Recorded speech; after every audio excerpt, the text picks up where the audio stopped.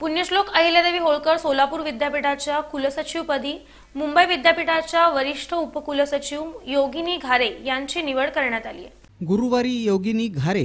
या कुलसचिव पदाचा पदभार स्वीकारून सेवेत रुजू झाल्या विद्यापीठाच्या कुलसचिव पदावर विराजमान होणाऱ्या त्या पहिल्याच महिला अधिकारी ठरल्या आहेत कुलगुरू डॉक्टर मृणालिनी फडणवीस यांच्या अध्यक्षतेखालील निवड समितीनं निवड प्रक्रियेद्वारे त्यांची निवड केली आहे गुरुवारी योगिनी घारे यांनी